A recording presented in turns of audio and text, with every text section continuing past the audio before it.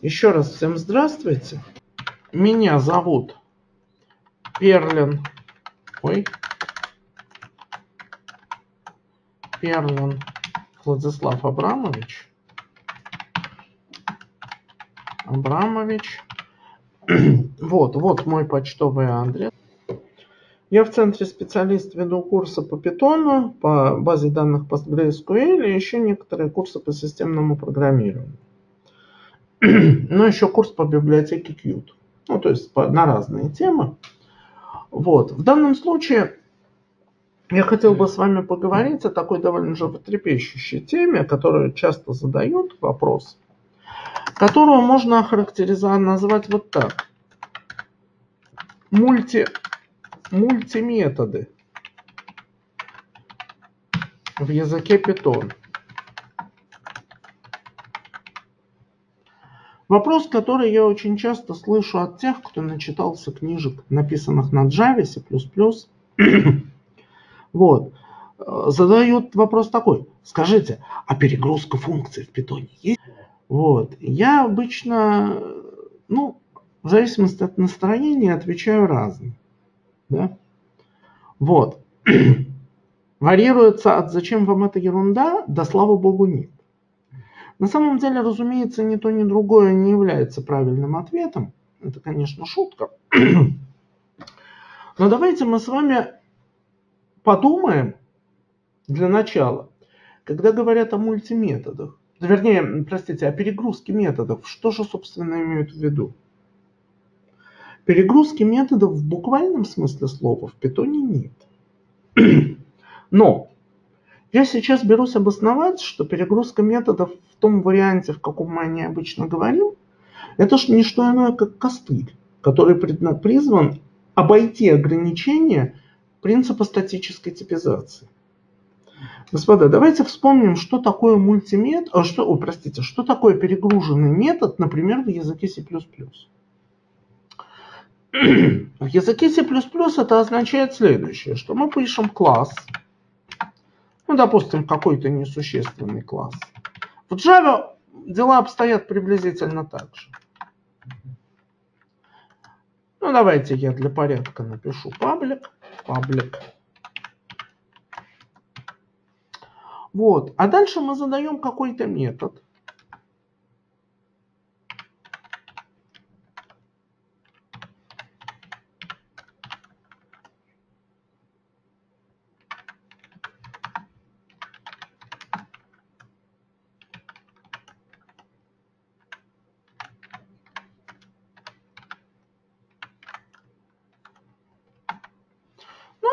Соответственно, начинаем с ним работать. Кстати, господа, я хотел бы обратить внимание, особенно тех, кто был вот у меня на второй части курса питона, что когда я вот сейчас написал какой-то текст и сказал, вот, допустим, вот класс, вот метод, я, в общем-то, вас обманул. Я, нет, ну понятно, что в языке C++ есть определенное правило, что мы объявление функции пишем в одном месте, а реализацию в другом. В данном случае это не принципиально. в Python и в Java здесь была бы вся функция. Да? Давайте эту условность C++ отбросим. Когда я вам пока тыкаю пальцем куда-то в текст программы и говорю, вот это метод, надо иметь в виду, что я, строго говоря, вру. Но давайте к этому еще вернемся чуть подальше. Ну, буквально через две минуты. Сейчас я просто хочу немножко о постановку задачи напомнить. Итак, в данном случае у нас есть, ну будем называть это словом метод пока еще, который запускает какую-то задачу, при этом в качестве параметра берет имя задачи. Но мы-то с вами помним, что в языке C и C++ вслед за ну, в языке C++ в данном случае, скорее всего, речь идет о массиве символов, завершающемся нулем. То есть текст задается в виде массива символов. А массив символов задается указатель на его начало. Следовательно, в данном случае это просто стандартный для языков C и C++ способ задания текста. То есть это по факту текст. Но ведь в языке C++ текст может задаваться не только так. Текст может еще и задаваться в виде переменной типа std_string. Да? И вот тогда возникает вопрос. Если мы создадим функцию, у которой тип данных constchar, то у нас могут возникнуть проблемы. Как ее вызывать, если у нас имя задано std_string? Да? Потому что с точки зрения C++ это разные типы данных, они, естественно, друг к другу не сводятся. А у, у метода написано, у функции написано, что параметр должен быть вот такого типа. Да?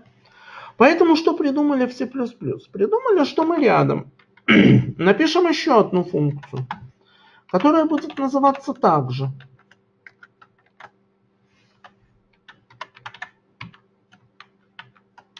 Ну и чтобы она была, соответственно, такая же, мы ее объявить должны вот так.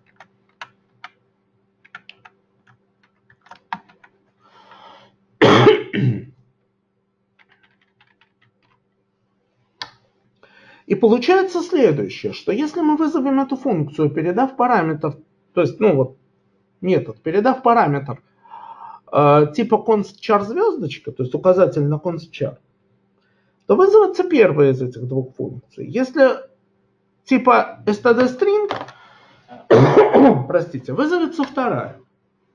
И вот это и называется перегрузкой, ну, э, в C++ перегрузка функции, ну и перегрузка метода.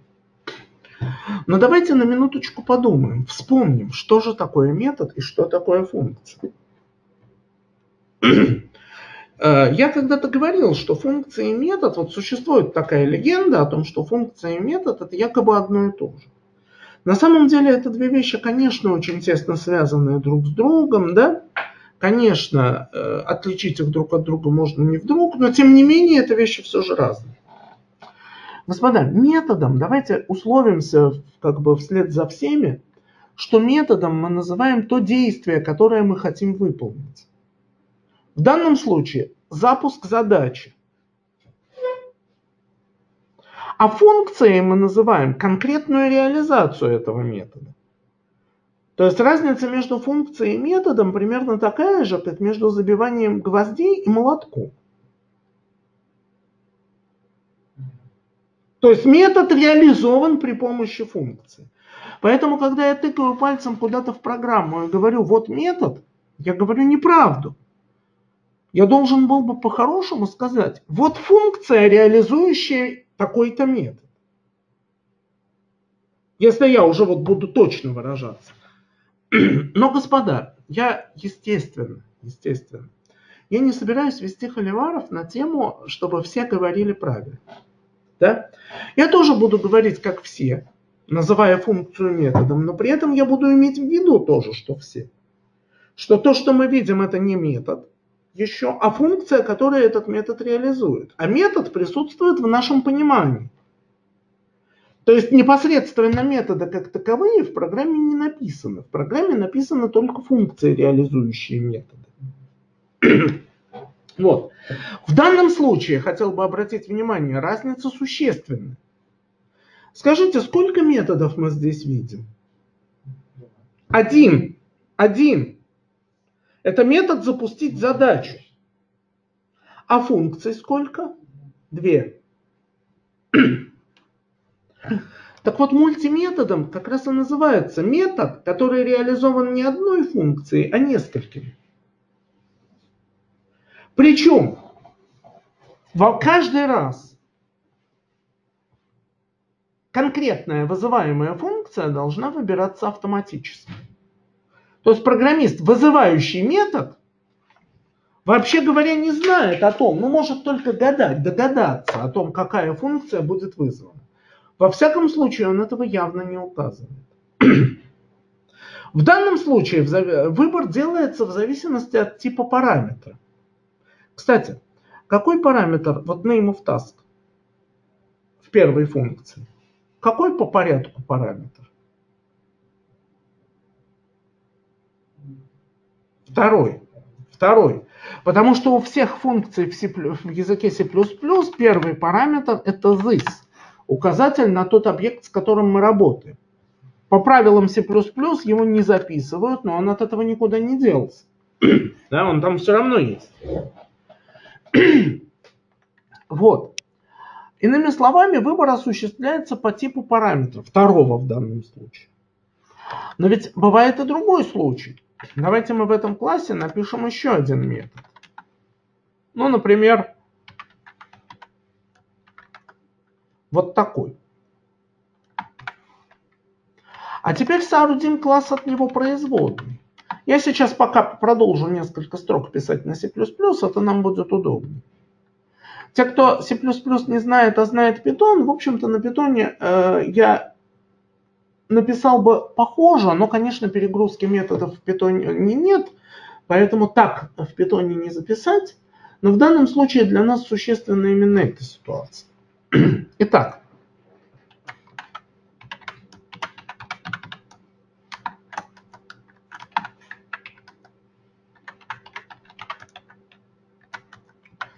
А вот здесь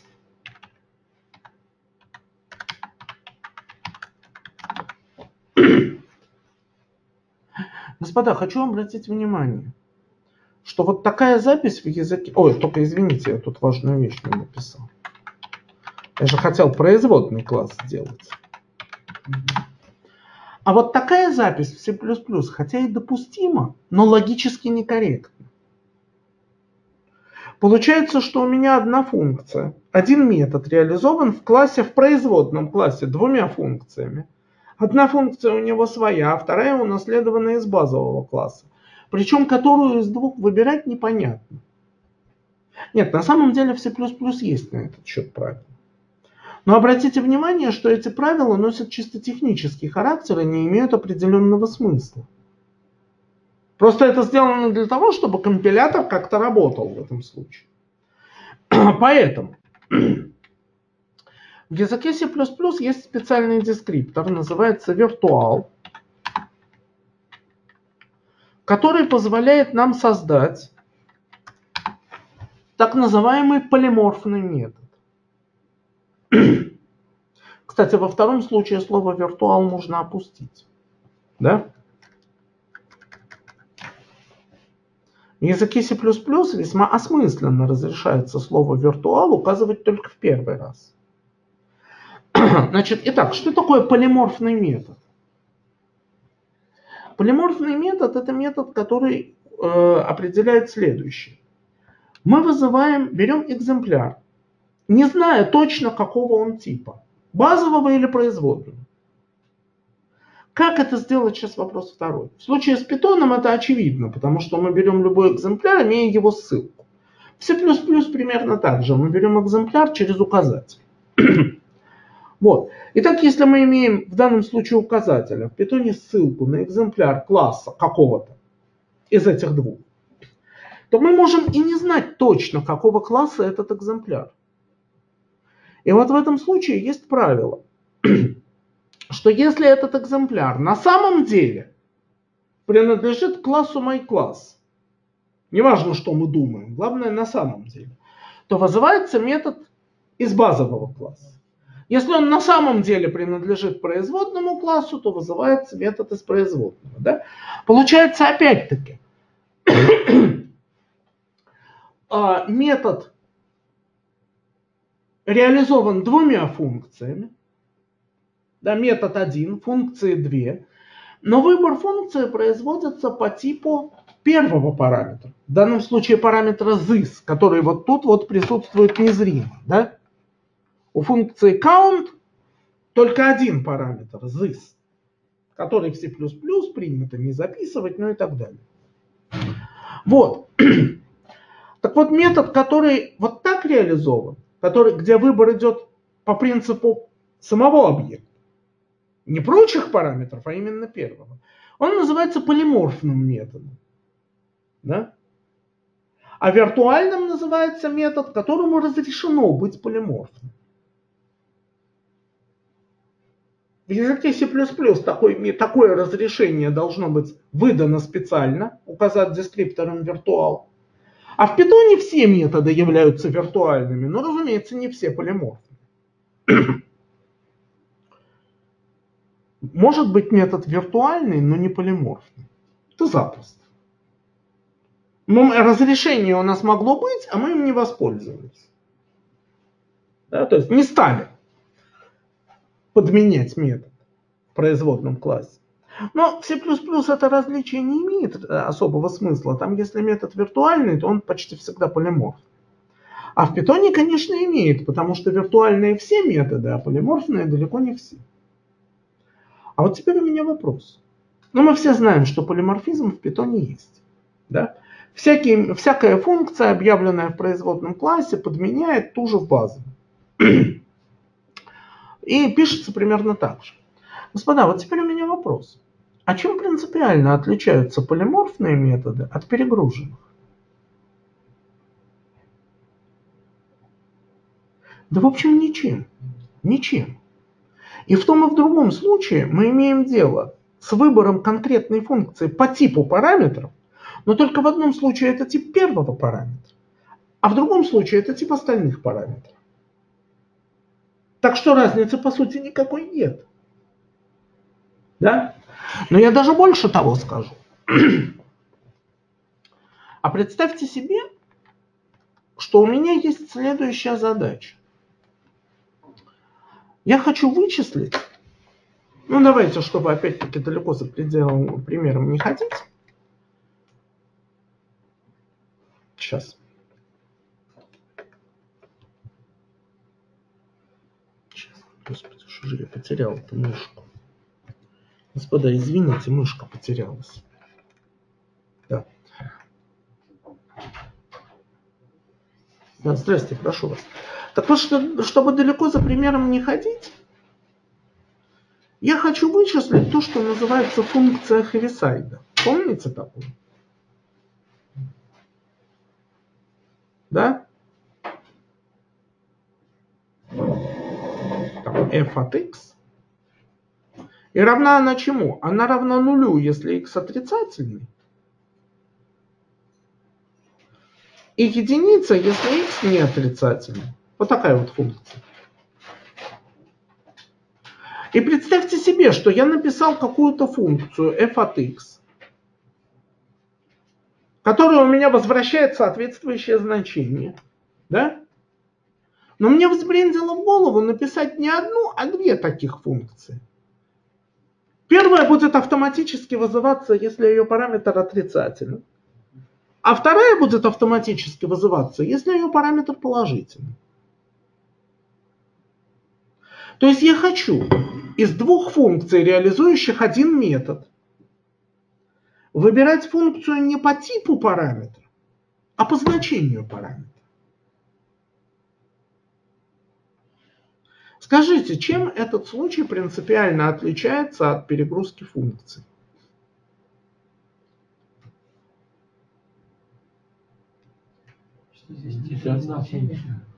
Нет, функция две. А, Одна для положительных x, другая. Вернее, метод один, да. А функция это две. Так в чем разница между этой ситуацией и перегрузкой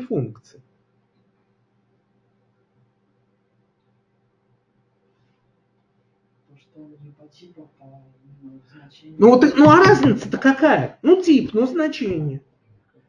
Это все равно, что я одного человека, а, не знаю, пропускаю по цвету волос, а другого по цвету глаз.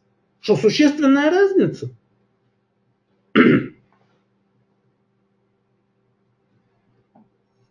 Господа, вот если мы работаем на языке C++, то разница очень даже существенная.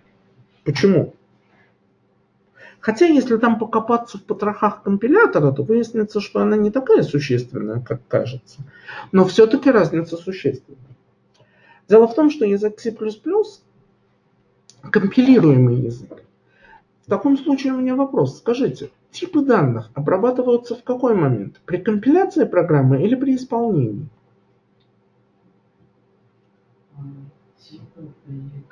При компиляции. Ну, по крайней мере, по большей части. да? На самом деле, кто знает хорошо C++, мне скажет, что это не совсем так. Да?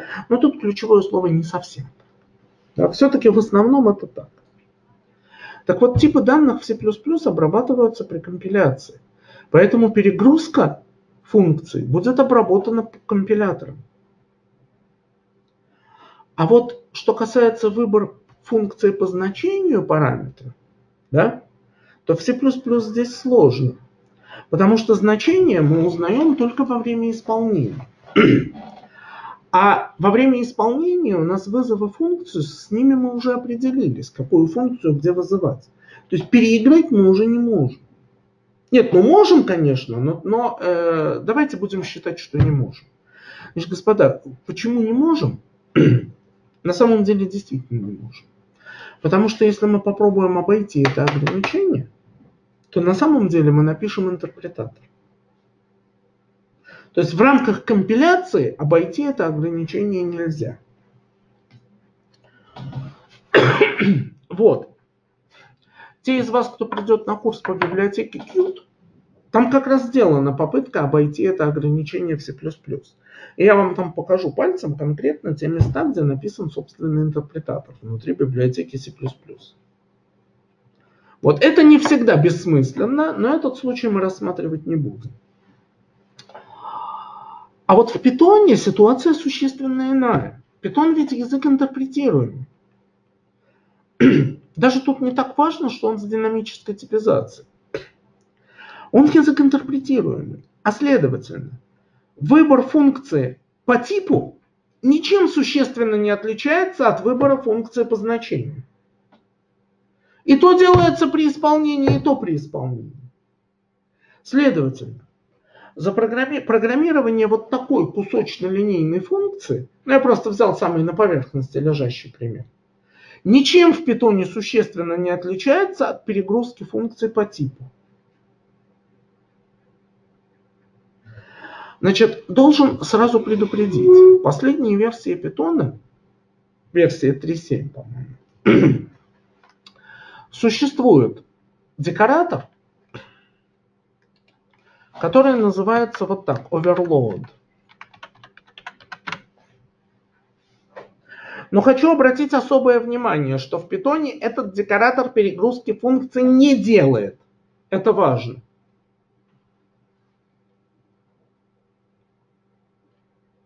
Я как раз вот недавно еще раз перечитал этот момент. Декоратор overload не делает перегрузки функций. Дело в том, что в последних версиях Python существует возможность выполнения так называемой статической проверки типов. Сразу, господа, скажу, статическая проверка типов в Python полезна лишь в очень редких случаях. Э, значит, я всячески вас предостерегаю от того, чтобы вы придавали ей существенное значение. Такие случаи бывают, не спорю. Поэтому иногда ее отсутствие в питоне нас несколько стесняло. Но все же это исключение из правил. Поэтому мы сейчас будем исходить из того, что мы проверяем тип параметров лишь тогда, когда нам это надо. А когда это нам не надо, мы его не проверяем. Причем, как правило, это нам не надо. А, поэтому теперь давайте посмотрим, как мы можем попробовать реализовать. Вот, кстати, по этой причине, что перегрузка функции ничем принципиально не отличается от выбора функции по другому критерию. Например, может быть, кстати, и такая ситуация. Создали метод, реализованный двумя функциями. Причем одна функция вызывается по воскресеньям, а другая в остальные дни недели. То есть вообще по какому-то левому критерию идет выбор. Обратите, пожалуйста, внимание, что ввиду того, что эти все ситуации по сути ничем не отличаются, больше того, даже полиморфизм тоже от них ничем не отличается. Кроме одного. Полиморфные методы отличаются от всех прочих тем, что они исключительно часто встречаются на практике. Поэтому их реализация как это отдельная, особая, как это сделано во всех языках, и в Python, и в C++, это разумно. Но остальные случаи, ну и больше того, полиморфные методы не просто исключительно часто встречаются на практике, но еще и поддаются общим правилам, описанию общими правилами. А вот что касается всех прочих случаев они описанию общими правилами практически не поддаются. Поэтому мы их объединим под общим названием мультиметод. Ну, как и все. Есть объединены. Значит, мультиметод – это случай, когда один метод реализован несколькими функциями, а выбор между кон- конкретной функцией делается без участия вызывающего. Да? Давайте посмотрим, как это можно реализовать в языке Python. Для начала, и давайте я покажу вам два простейших случая. Один случай, когда мы параметр выбираем по типу, второй по значению, функцию по типу, второй по значению, ну если успею. Если не успею, э, ну, тогда я покажу это когда-нибудь ну, уже на курсе. Ну, на, нет, господа, к сожалению, вот эту тему на курсах я подробно не рассказываю. Ну, найду вариант показать, как еще. Итак, давайте я сейчас запущу интерпретатор в интерактивном режиме. Командная строка, где она у нас? Итак, я запущу в интерактивном режиме интерпретатор. Все время забываю про этот шрифт.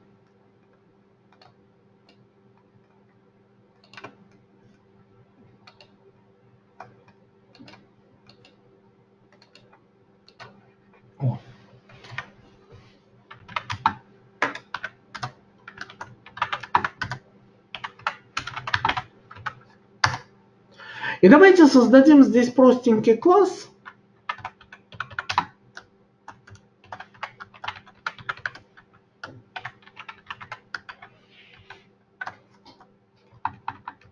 С одним единственным методом.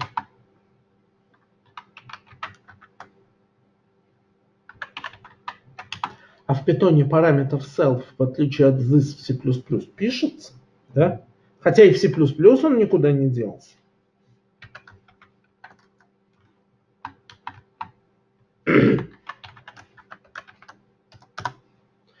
Итак, вот класс. Теперь я создал экземпляр этого класса.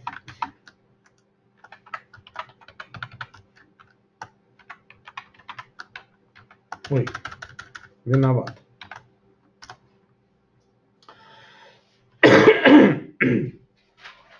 Мы с вами знаем, что если мы попробуем написать функцию без круглых скобок за ней, это будет означать не вызов функции, а что? Ссылку на функцию. Итак, вот у нас ссылка на функцию. Но давайте посмотрим повнимательнее кое на что. Итак, у нас в классе myClass имеется функция, пока про методы говорить поостережемся, имеется функция print. То есть у нас имеется функция myClass.print. Ой, э, функ, извините, функ. Обратите, пожалуйста, внимание, что она нам показалась как обычная функция. Здесь только по косвенным признакам можно понять, что эта функция реализует какой-то метод. Скажите, если я захочу эту функцию, ссылку на эту функцию, присвоить какой-нибудь переменной, я смогу это сделать?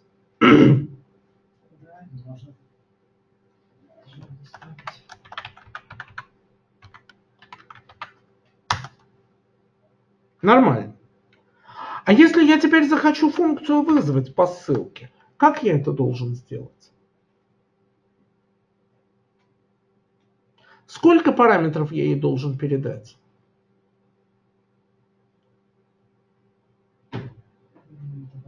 Два. Считаем пальцем self a.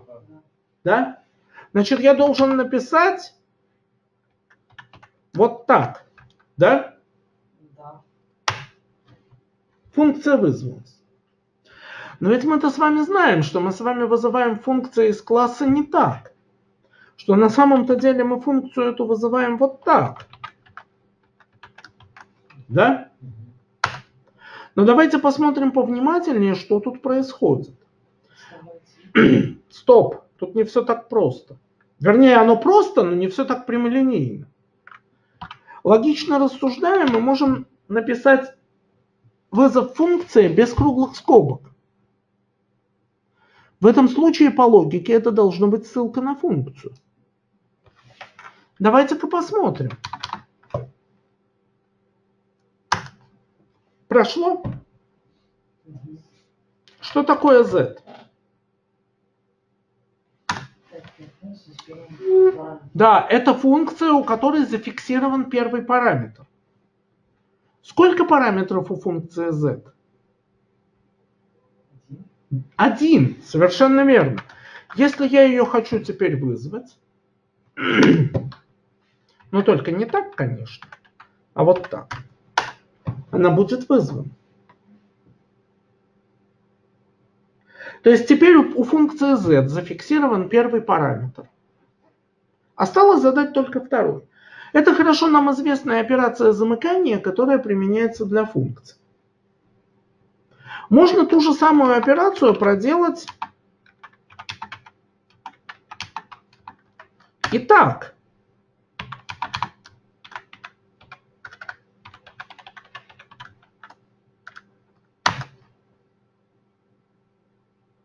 Да? Смотрите, что будет. Нормально? Что произойдет, если я сейчас вызову функцию?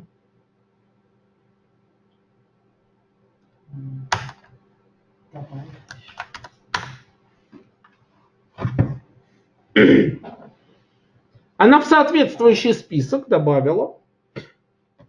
Иными словами, в языке Python точка на самом деле означает операцию замыкания. Привязки первого параметра к функции.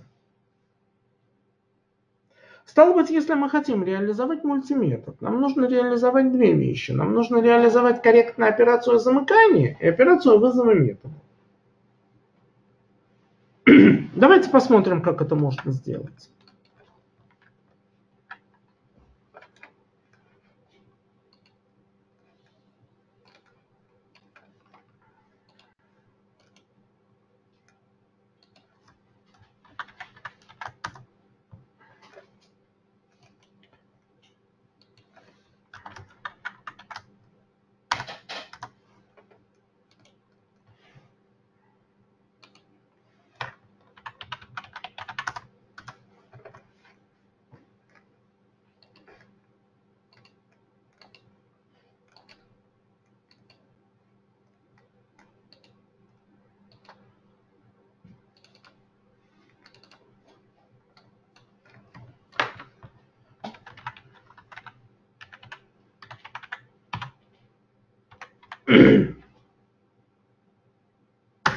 Я создал файл, который назвал multimetod.py.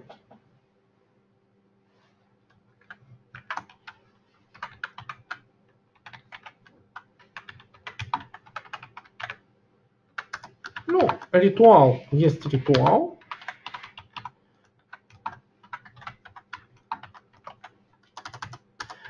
И вот здесь давайте вспомним. Я создам класс но только не тот, который мы будем, не только не тот, которого у нас будут объекты, а вспомогательный класс.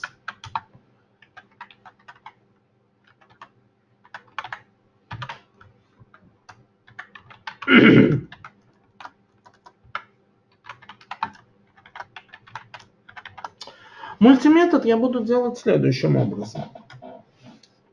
Ну давайте только я назову его не мультиметод, а, а Давайте так, чтобы слово overload не использовать, я назову, назову его bytype. Вот так. Да? а, ну, потому что слово overload все-таки есть в стандартной библиотеке, поэтому давайте не будем его в суе упоминать. Вот. Я, я сейчас пока подумаю, подумаем сейчас, что тут писать. Давайте для начала подумаем, как мы хотим его использовать. Вот здесь вот уже будет наш класс, my класс, в котором будут ну, мультиметоды располагаться. Ну, копипаст великий и могучий.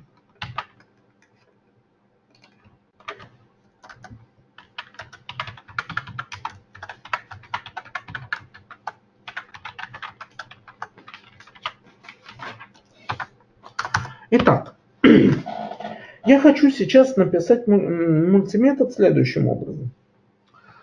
Что, чтобы он выбирал нужные функции, ну, из нескольких функций одну, по типу ее одного второго параметра.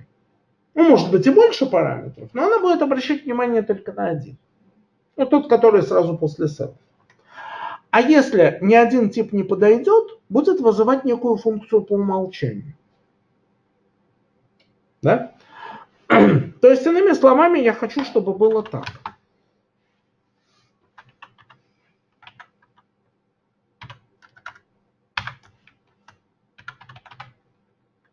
Господа, позвольте, я сейчас не буду эту программу запускать, я покажу вам сам принцип подхода. Доделаете вы ее уже сами. Но тут могут быть какие-то другие параметры, но нам это сейчас не важно.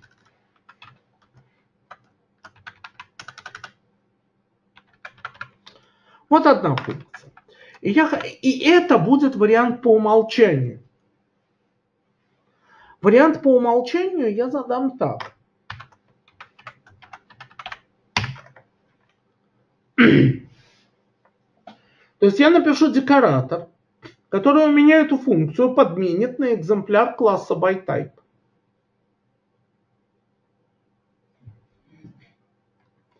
Теперь второй, вторая функция.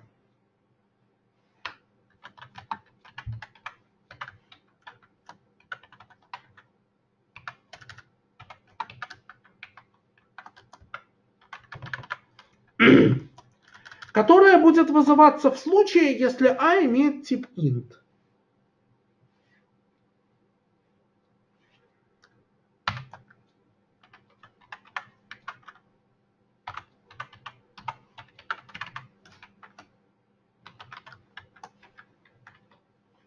И указали ссылку на соответствующий тип.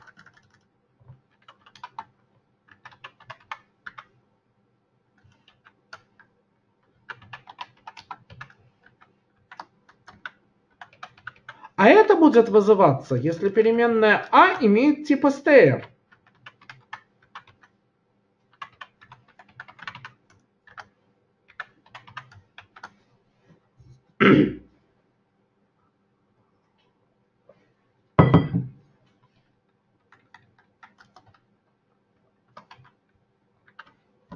В дальнейшем я создам экземпляр класса myClass.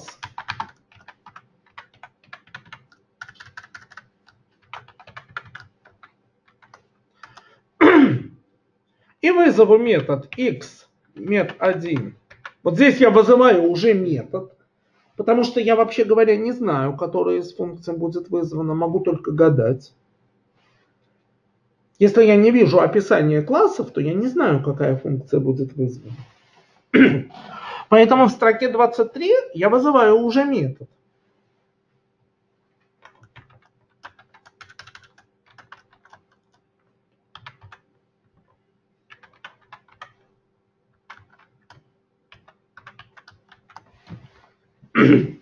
Итак, я хочу сделать так. Ну и давайте до кучи.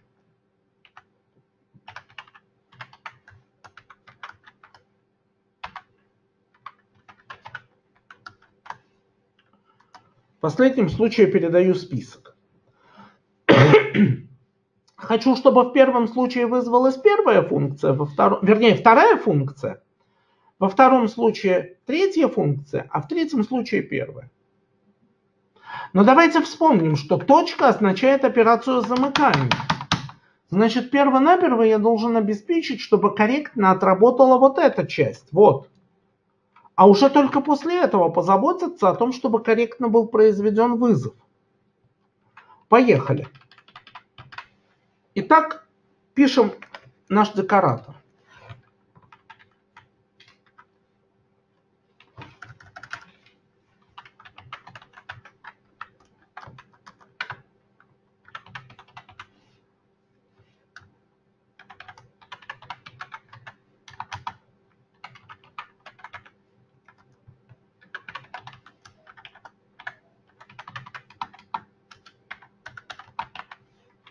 А вот это будет список пар, список кортежей. где первым параметром будет тип, а вторым функция.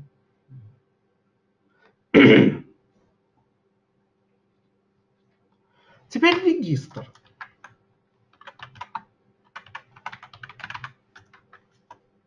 Ну, только я, конечно, забыл тут написать self, да?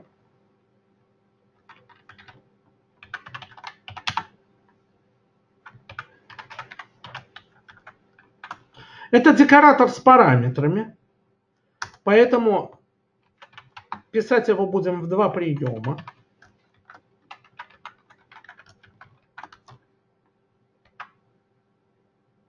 И написан он будет вот так.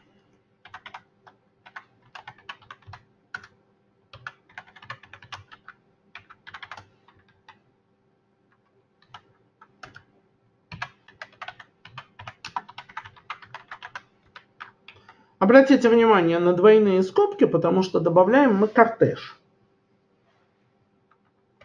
Ну, соответственно, return self, а здесь return reg. Ну, это типичная запись декоратора с параметрами. которая добавит в список еще одну функцию.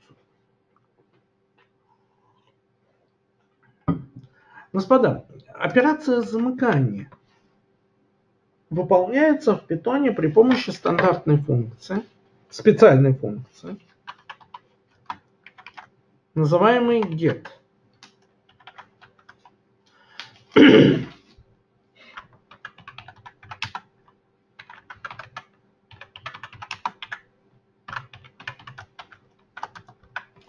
То есть, когда мы ставим точку, и хотим получить доступ к атрибуту данного экземпляра, да, то вызывается вот эта функция get. Причем self это ссылка на мультиметод, то есть на экземпляр класса byType. А instance это ссылка на тот экземпляр, которому этот метод принадлежит, на экземпляр хозяина. Owner – это ссылка на тип экземпляра хозяина.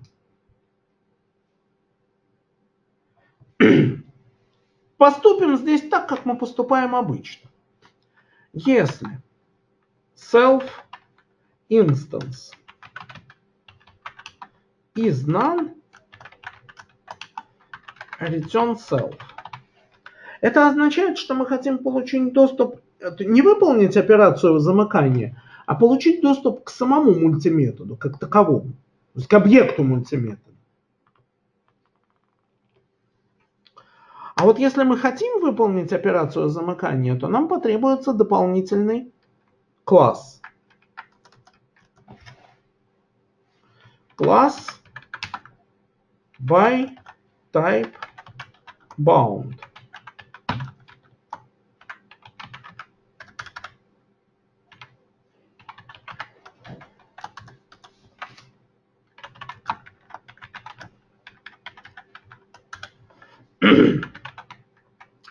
И чтобы создать этот объект, нам нужно три параметра.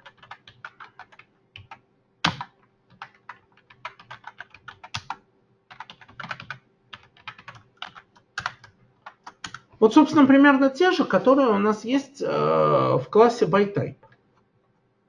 Ну, давайте я здесь тоже напишу аза, чтобы они совпадали по именам.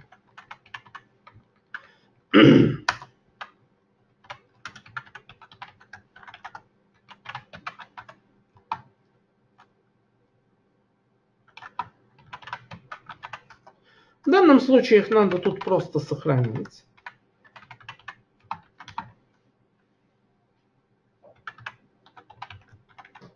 Ой, извините. А за это будет список, да?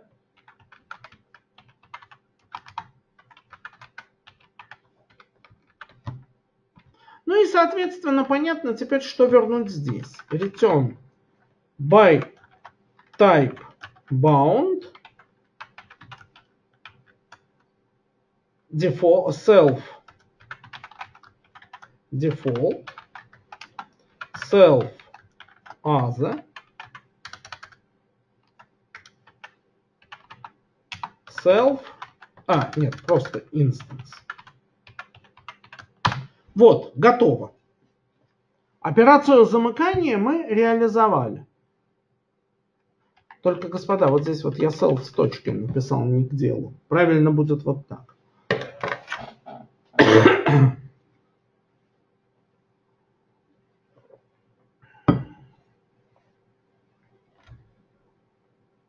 Итак, теперь, после того, как мы написали вот это,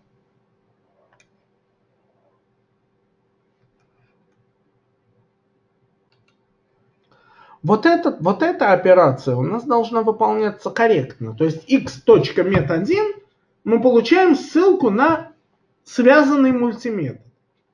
То есть операция замыкания выполнена. Теперь нужно его вызвать. Давайте напишем метод, который выполнит, собственно, вызов метода. Скажите, в каком классе его надо писать, в верхнем или в нижнем? Верхнем. Мы вызываем метод уже после замыкания, замкнутый, привязанный. Поэтому это относится вот сюда.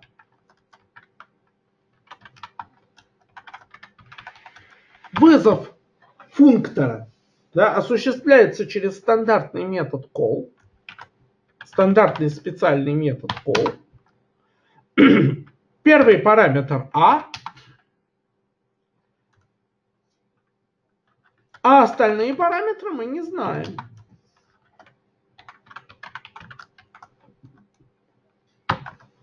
Могут быть какие угодно. Ну а дальше, господа, все легко. Смотрите.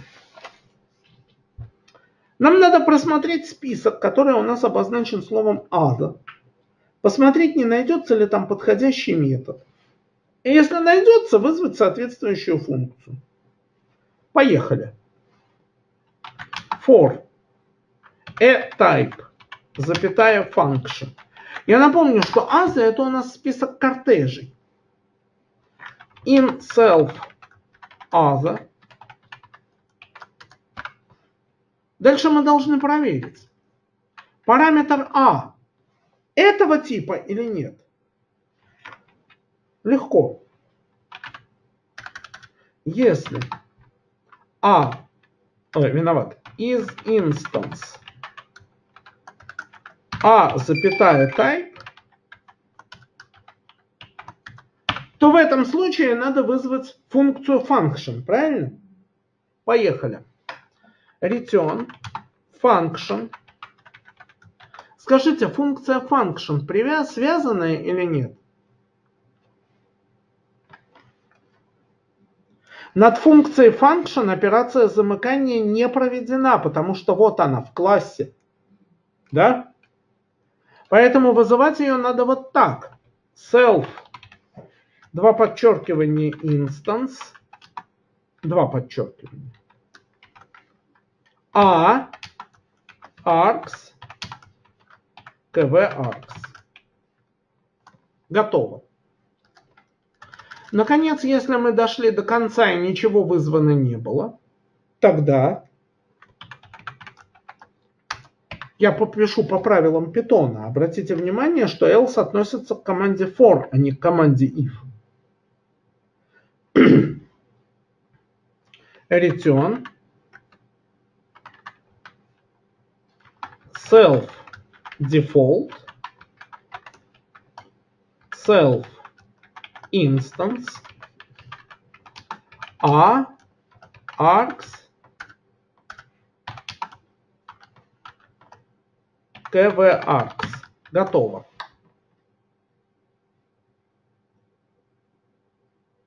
А собственно все.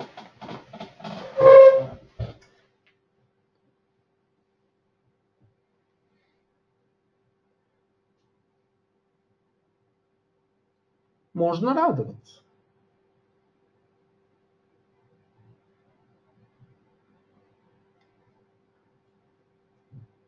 Функция call осуществит выбор нужного метода, ну, нужной функции и вызовет ее.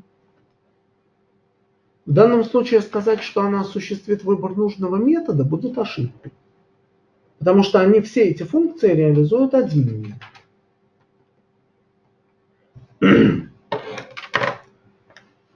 Господа, вот тут хочу обратить ваше внимание, с такой же легкостью можно реализовать логику выбора нужной функции какую угодно.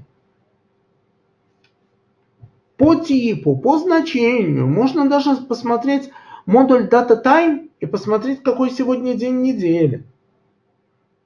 Можно скачать из интернета текущий курс доллара и в зависимости от этого выбрать нужную функцию. Правда, последнее вряд ли кому-нибудь придет в голову делать в здравом уме таким, таким способом. Но насчет э, интернета и курса доллара, это, конечно, если кто-нибудь и вправду реализует мультиметр так, то это будет скорее говорить о низком уровне психиатрии вместе его жительства. Да, но это, я думаю, понятно почему. Но, но, а вот если он таким способом реализует мультиметр, который считывает, например, показания датчика, датчика влажности, то это будет очень даже разумно. Ну, по крайней мере, не исключено. Ну, как минимум, это достойно обдумывания. Понятно, датчики бывают разные, условия разные, так что тут однозначно сказать нельзя. Поэтому это не так уж и глупо.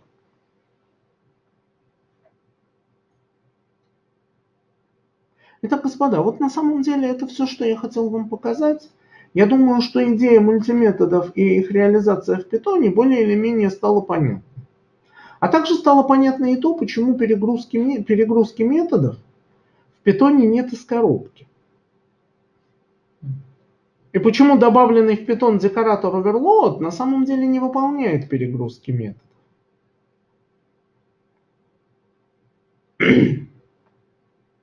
На самом деле можно, конечно, э, сделать этот, э, вот этот вот декоратор by type, более интеллектуально. Например, учтя тот факт, что в питоне, начиная, там не помню с какой версии, имеется возможность указывать тип вот так. Да? И раз так, то мы можем указывать тип, э, выполнять перегрузку методов, не указывая тип в качестве параметра в декораторе, а указывая, а посмотрев, какой тип указан в комментарии, ну вот э, здесь вот функции. Да, это можно. Но, господа, на мой взгляд, оно, ну не то, чтобы оно того не стоит. Я попробовал как-то раз. Это привело к тому, что сам, сам класс декоратора оказался довольно сложным. Но мне кажется, что раздумья на эту тему просто не имеют смысла по одной причине. Потому что выбор фун функции по типу значения параметра ничем не отличается от выбора по любому другому критерию. А раз так, то городить огород незачем. Хотя, разумеется, воля ваша. То есть ничего плохого в этом не будет. Ну и, господа, последнее замечание, пожалуйста. Э, статическая проверка типов, которая в последнее время введена в одной из последних версий Python, конечно, не является вещью вовсе бесполезной, конечно, определенную пользу приносит, но очень прошу не злоупотреблять. Все-таки Python язык с динамической типизацией, а значит динамическая типизация там рулит. Хотя, разумеется, разумеется, бывают случаи, когда статическая проверка типов нужна и вправду. И эти случаи, кстати, должен сказать, среди них встречаются весьма важные. Поэтому сказать, что это сделали зря, я, наверное, не скажу, но тем не менее. Так, господа, если есть ко мне какие-нибудь вопросы, я попробую на них ответить. А вот если мы делаем, например, по значениям, то мы будем а, в дефолтном, дефолтной функции а, указывать... А, ну, начнем с того, что дефолтной функции у нас может и вовсе не быть. Ну, да, это понятно. Да? А как ваша фантазия подскажет? Поймите, мультиметоды в питоне полностью в руках программиста. Что мы тут нафантазируем, то у нас и будет. Поэтому каких-то общих правил здесь нет.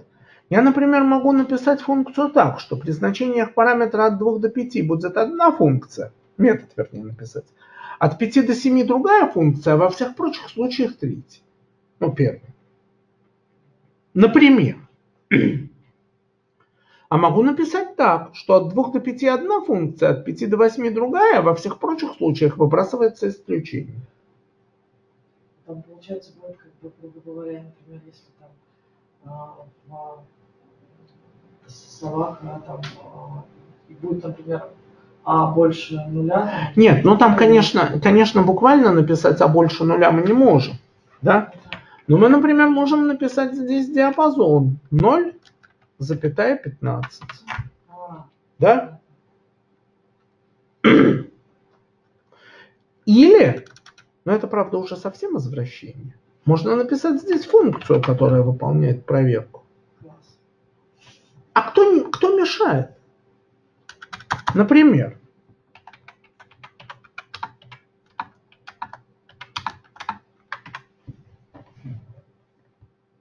да? А если условия будут перекрываться? А, вот смотрите, так как реализовал это я, так как это я сейчас сделал, функции будут проверяться ровно в том порядке, в каком они перечислены в классе, за исключением того, что дефолт будет применяться последний. Да? Посмотрите, ведь они же ведь вот эти декораторы вызываются именно в этом порядке. Сначала этот, а потом этот. Стало быть, в список они добавляются тоже именно в этом порядке. Вот видите? Иными словами, в моем случае функции будут выбираться в том порядке, в каком они перечислены в классе. Но ничто не мешает вам задать другой порядок. Например, вплоть до того, ну я правда э, тут на- надо, наверное, это я в порядке бреда скажу, да? Ничто не мешает написать мультиметод так, что если у вас э, выполняются оба условия, то вызываются обе функции. Только, господа, э, я скажу сразу, что то, что я только что сказал, прошу, по крайней мере, временно считать чушью. Потому что метод подразумевает, что вызывается одна функция все-таки. Да? Если вызываются их две, это уже как-то вот что-то странное. Да? Но я, э, как бы, если вы придадите этому какой-то смысл и ответите мне на вопрос, что это значит, то я немедленно свои слова про чушь возьму назад. Пока такого ответа нет, это считается чушью.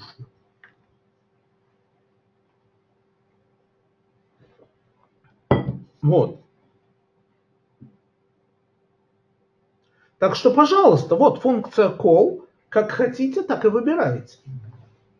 Понимаете, именно поэтому в питоне ничего похожего нет из коробки. Потому что это не предмет изучения, это предмет сози- созидания.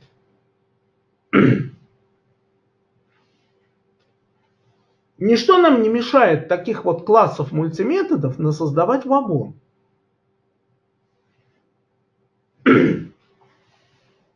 Другое дело, что надо иметь в виду, что, конечно же, в данном случае мы принципиально и существенно пользуемся тем фактом, что Python интерпретируемый язык. А раз так, то, конечно же, за это пойдет плата в виде того, что это будет работать медленнее. Поэтому я попрошу э, такие финты ушами делать достаточно аккуратно. Ну, например, я использую такую возможность при написании э, веб-приложений для того, чтобы выз- вызывать один метод, если запрос сделан, ну, вернее, одну функцию. Если запрос сделан методом get, и другую функцию, если запрос сделан на тот же адрес, но методом post. Ну, типичный пример, когда мультиметод нам будет полезен.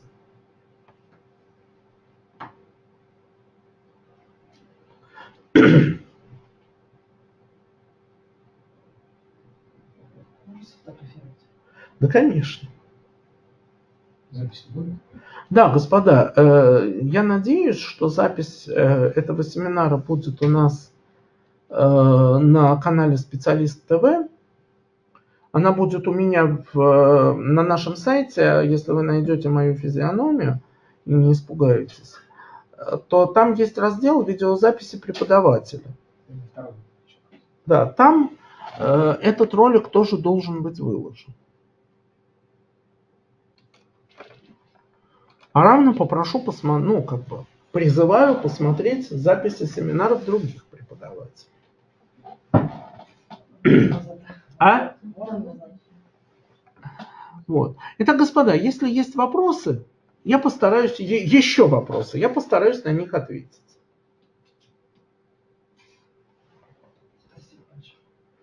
Вот. Ну а так, короткий разговор на животрепещущую тему мы на этом закончим.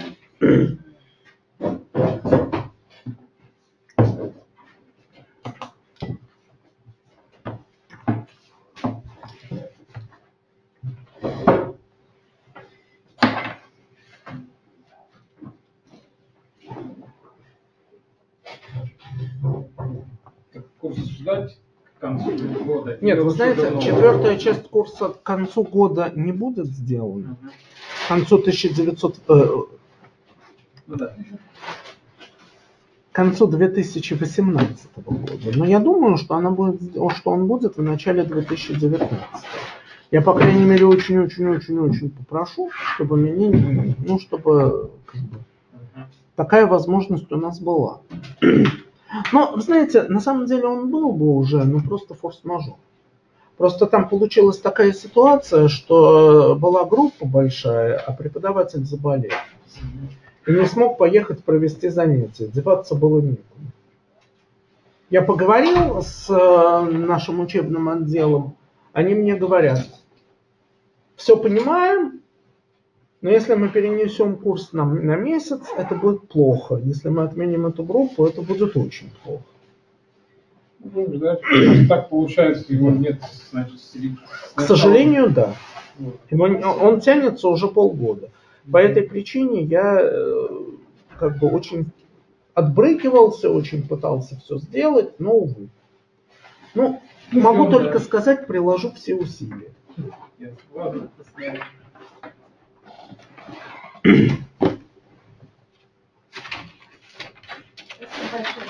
До свидания.